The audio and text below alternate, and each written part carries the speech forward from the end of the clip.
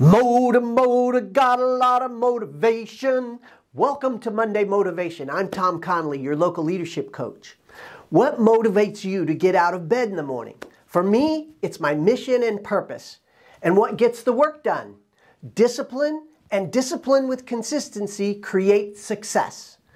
I was 28 years old when I discovered that time management is life management. And I, and, and I began following the concepts and disciplines described by Dr. Charles Hobbs. I realized that life is the sum of every decision we make, and that while we can't control time, we can control the events in our lives or how we react to those that we can't control. I decided to take responsibility for my life.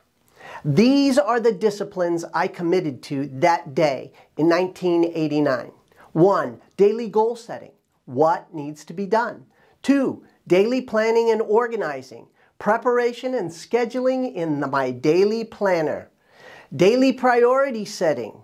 Which of the goals and tasks today are the most important?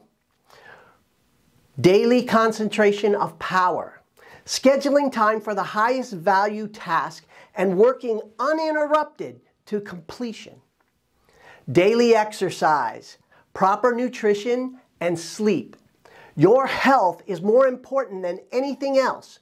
Eating healthy, exercising daily, and getting adequate sleep to energize your mind and body will maximize your productivity. Daily learning and growth.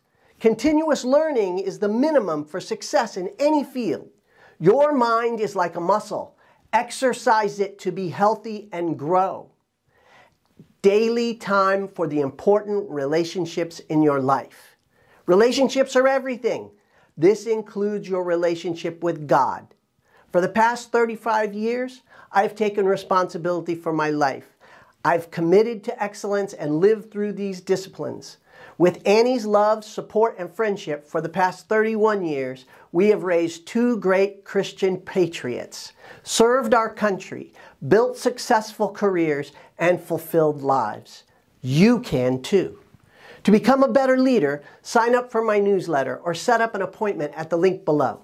Remember, all things are possible through prayer and heavy deadlifts.